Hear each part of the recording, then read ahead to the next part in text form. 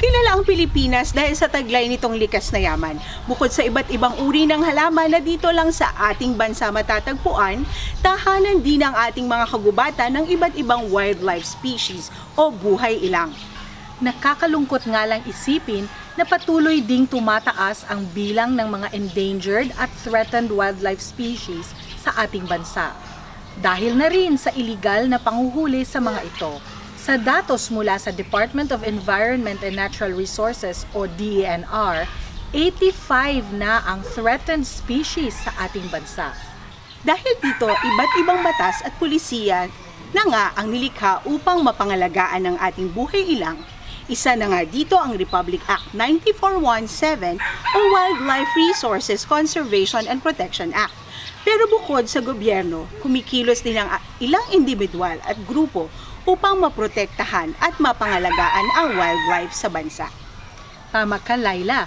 At isa nga dito ang Laguna Wildlife Park and Rescue Center na tampok sa unang episode natin sa Season 16 Magandang umaga Laguna. Ako po si Avril. At ako naman si Laila. Sama-sama nating pagsaluhan ang mga bagong magagandang kwento at masasayang karanasan at magandang mga usapan. Lahat ng yan dito, dito sa Laguna. Laguna.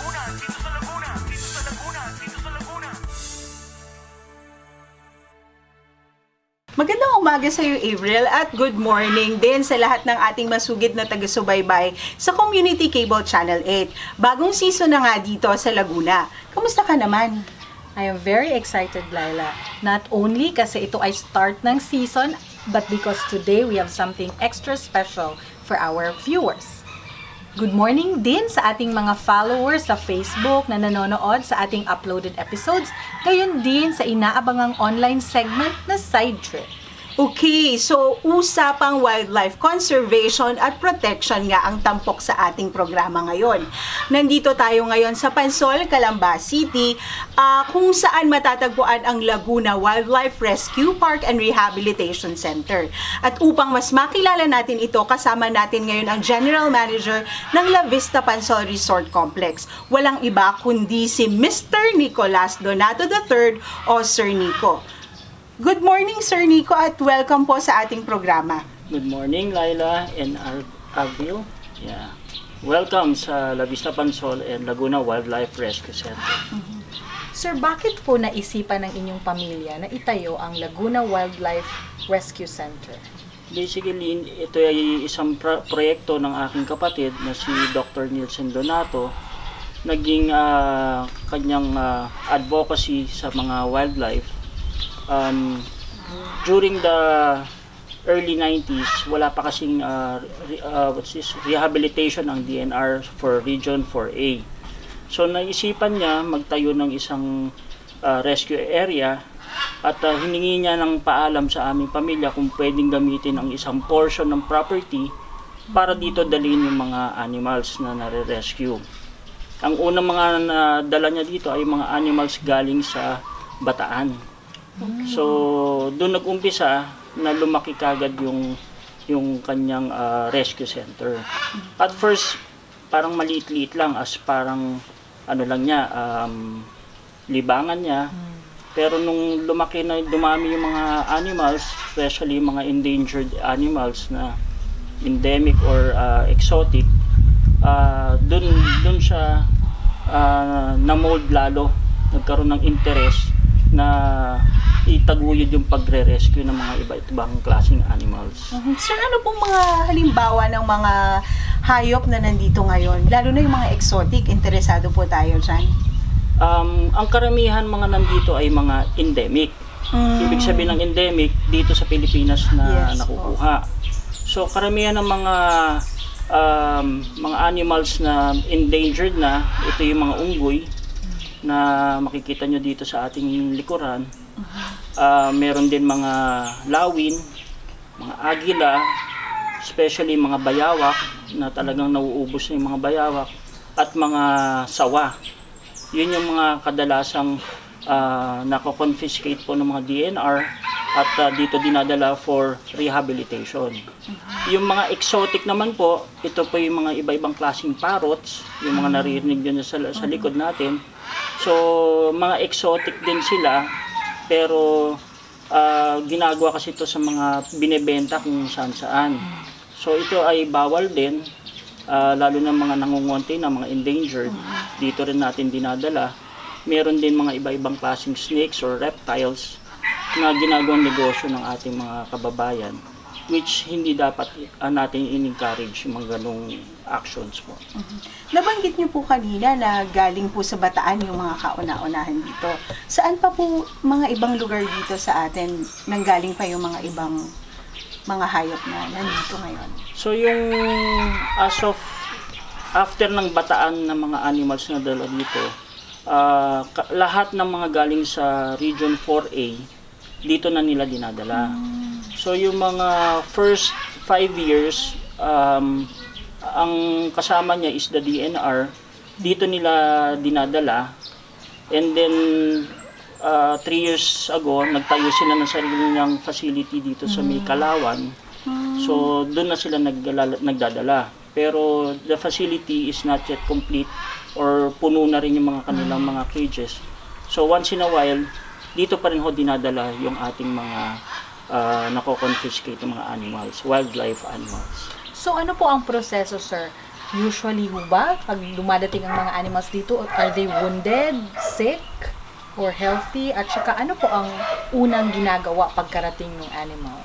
Basically, lahat ng nabanggit mo ay yun ang mga dinadala ko dito.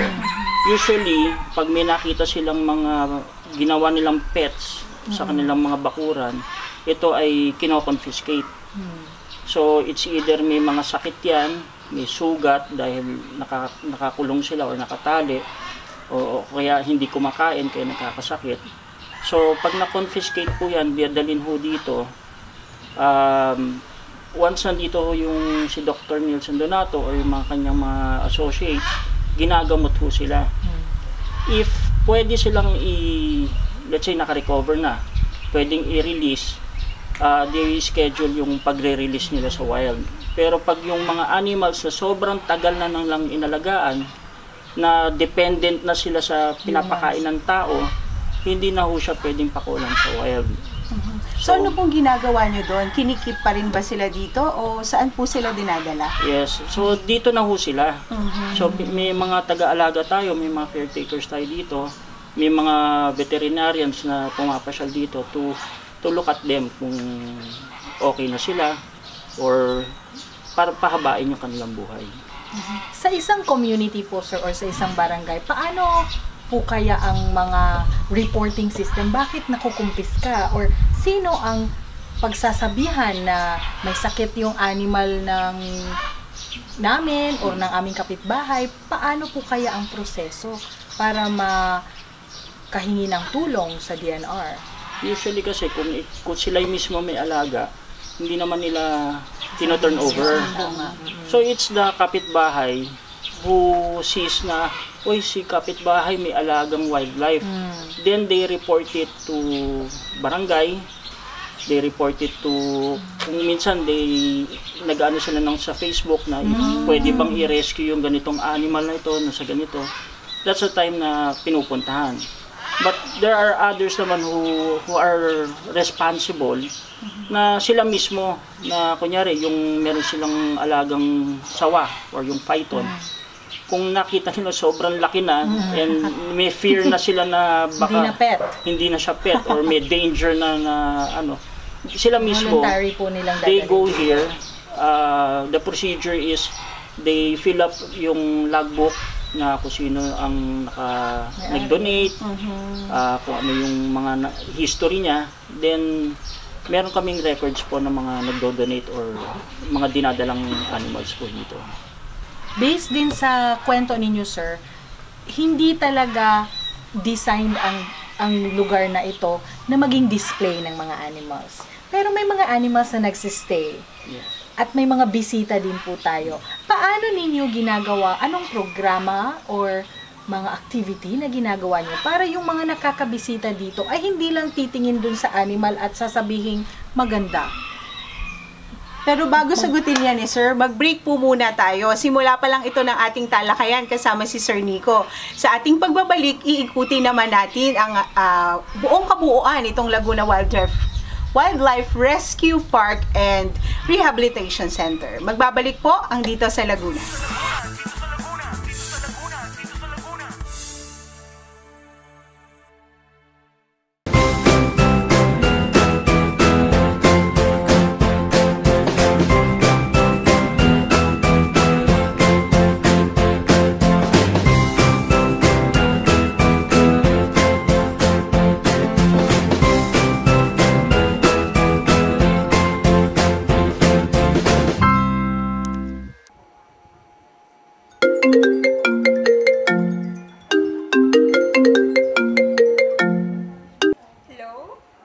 Besh, saan ka na? Mag-exam na.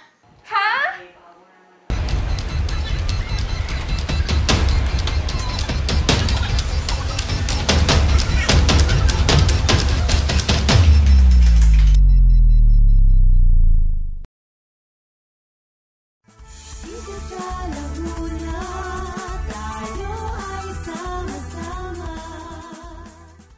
At nagbabalik po tayo dito sa Laguna. Kasama pa rin natin si Sir Nico dito sa La Vista Pansol, dito sa Laguna Wildlife Rescue Center.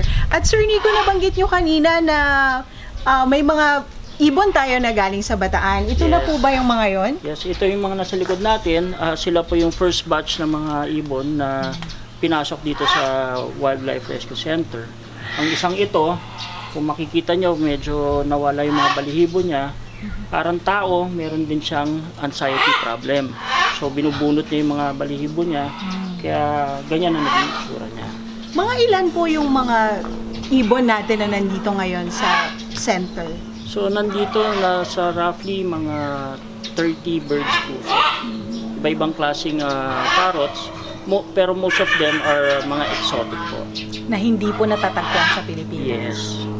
Um, pero meron tayong ano, yung local na tinatawag na Palawan Kakatu. Ah, na, na ano to, na parami ni Doc Nielsen dito sa facility na ito. But ah, mga two years ago, ah, pinakwalan ulit to sa Palawan. Together with the bear cats, may mga naparami rin siya dito around parang 11 pieces po yung naging ano, ah, dami ng bear cats. Pinakwalan na rin po niya. So Kaya- may isa lang na iwan, ito yung medyo kailangan bantayan pa. Kaya po pala may mga cages na walang laman. Yes. Yun po ay pwedeng napakawalan na Yes, sa ma'am. wild. That's right po. Okay, so punta naman po siguro tayo sa iba. Yes. may Samahan mga- nyo kami sa May mga reptiles po dito sa Okay, tingnan po Reptile. natin.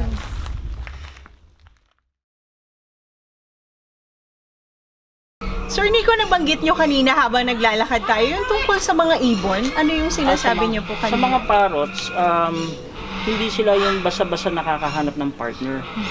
They choose the parang for life nilang partner, mate. So, hindi siya pwedeng pagsamasamahin basa-basa. Ah, nag namimili yan.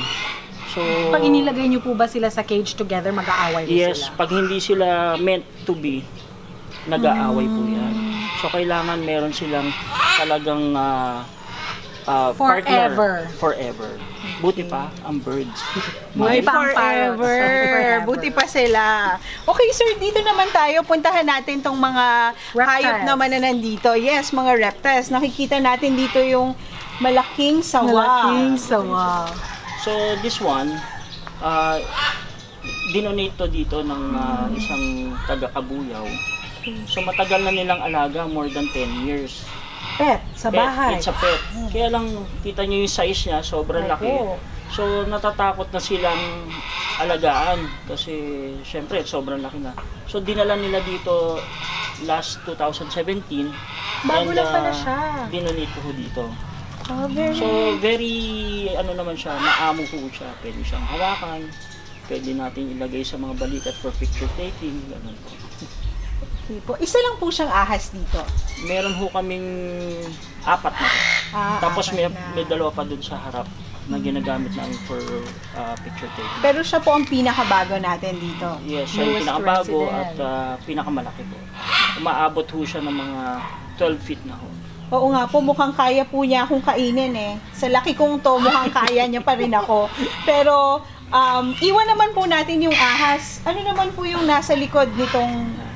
Ito po yung mga ano na po, no? Medyo na-extinct na po. Yan yung po yung mga tinatawag nating bayawak. Philippine Monitor Lizard. Yes, yun po yung tamang ah, pangalan niya. So karamihan ho kasi, ah, ito yung ginagawang pulutan ng mga ating kababayan. Kaya lang nakakaawa na ho at ah, pinagbawal na ho to ng Department of ah, Environment na hindi na ho pwedeng ah, kainin ang mga bayawak na katulad nito. Sisig na lang po, wag na ho ito. Mm, baboy na Sisig lang. na lang. Okay, so punta naman po tayo sa ibang parte nitong center.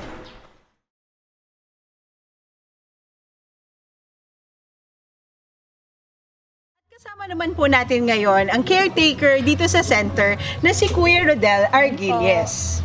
Kuya, pakwento nga po sa amin, anong nangyayari sa inyong, sa isang araw ninyo dito sa park as Ah, caretaker? Sa umaga po, papakain muna po kami ng mga hayop tulad ng ibon. Ang pinapakain po namin doon, mansanas, ubas, ah, Wow. ubas po, tapos papaya, mais po. Tapos sumunod sa sa hapon, no, mga bandang alas dos, sunflower naman po siya. Para sa mga ibon. Para sa ibon naman po. Tulad naman po sa, tulad ng buhaya, manok naman po yun, ulo ng manok po naman yun. Kumakain po sila ng, tatlo po sila, kumakain po sila ng limang kilo bawat araw-araw po sila. Oo, araw-araw po. Gano'ng katagal na po kayo dito, Kuya? Ah, pitong taon na po ako dito. Mula po noon, ano yung pinaka naging paborito yung inalagaan nyo dito? Ah, tulad po ng ibon no, kasi ang ibon no, natuturoan po natin yan, na papagsalita po natin yan. Ma- Nag-train kayo. Hmm. Talaga sa pamamaraan lang ho talaga, kakausapin po sa niya pagkatapos magpagkain. Nasalita, tuturuan po siya ng salita ng Pampilipino ho, ni tulad doon ng ibang customer ho, binabastos ho yun. Nasalita ho ng pangit-pangit, pangit ganun. Dapat hindi di ganun. O, sinasaway po namin yung ganun. Dapat mas maganda ang Mas maganda. sa mga ibon. Tulad po nung isang ibon namin doon, kumakanta po ng pambansang awit po natin. Wow! Ay, magaling. Kayo po nagturo Sabayan nun. natin. Kami po ma'am. Tayo sabayan natin mamaya siguro ano. Pero kuya, ano po ba yung karamihan sa mga um, dapat nating ipaalala sa lahat ng mga pumupunta Ah, dito? tulad naman po sa customer, sa mga guests. Mhm. Kasi ang bukas po namin dito, 9 o'clock ng morning. Hanggang anong oras po yun? Hanggang 5 po ng hapon. 9 to 5. Ang sinasabi po namin sa customer, babalo bigit sa mga sa mga cage, sa mga kulungan. Huwag kang dumikit, Laila. Oo nga, masyado ako malapit. Tulad ng bawal mo pakain ng mga chicherya. Tapos so, noon, umiikot-ikot po kami tulad ng ngayon, mainit po. Mhm. Tinitingnan po namin ng hayop. Kasi po nai-stroke din po yan. Ah. Heat stroke sila. Nai-stroke din po sila. Para din tao ho rin yan. So para po kuya, meron naman po tayong mga reminders, di ba po, bago sila pumasok sa park, kung anong mga behavior, anong dapat nilang gawin, anong hindi dapat gawin, Mm. dapat po silang magbasa. Anong gusto niyo pong sabihin sa mga nanonood sa atin dito sa dito sa Laguna para po um, maanyayahan sila dito sa inyong center? Ito naman po, sinasabi ko nung sa manonood, oh, ito naman po yung naka-internet. Pwede naman po silang umano sa Facebook ni, ni Doc Nielsen. Lang po. I-like na nila Like yung page ng Oo. park. Yun lang po. Maraming salamat kay Kuya Rodel. At tayo naman ngayon, Avril, ay mag-iikot muna dito sa center. Kaya po tayo ay magpo-pause muna para sa isang break.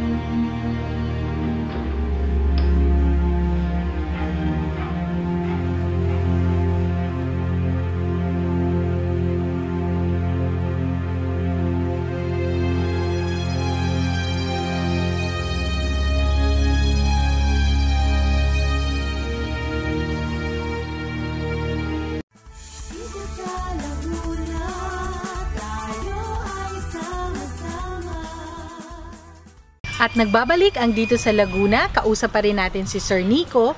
Kanina tinanong natin siya, paano kaya ang publiko, sir, makakatulong dito sa inyong advocacy, sa inyong efforts related sa mga threatened and endangered animals? Sabi nga ni Dr. Nielsen Donato, ang wildlife po ay dapat pabayaan po natin.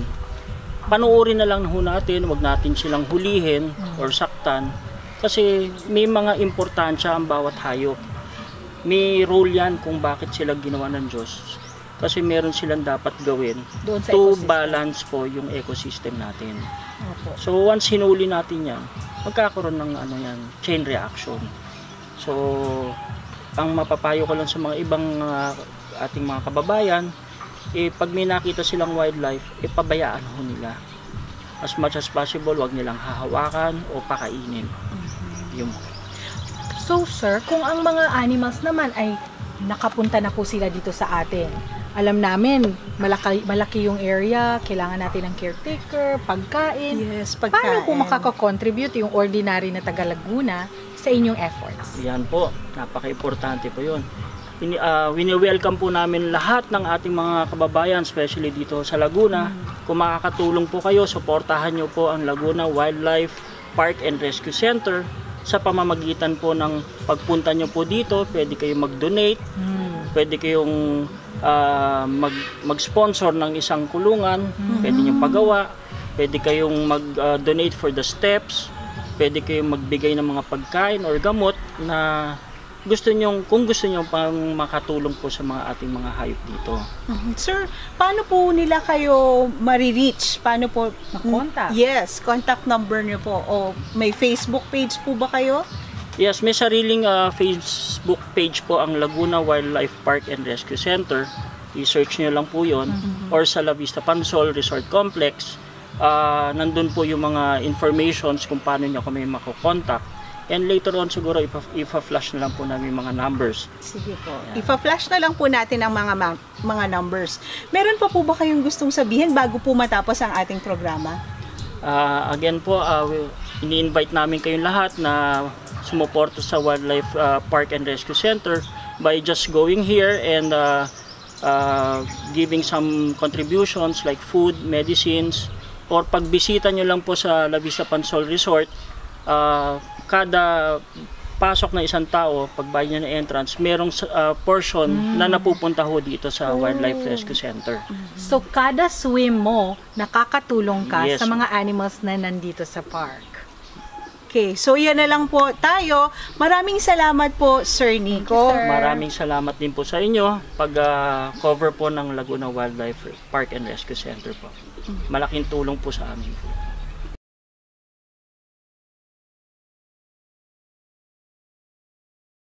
So, Avril, anong babaunin mo dito sa pilot episode natin? Kanina, we started na masaya ako eh. Super excited. But then, nakaka-reflect din pala ang bisita natin ito, Laila. Kasi, titingnan mo yung mga animals na nandito sa park, hindi sila dapat nandito eh. Dapat nandun sila sa wild.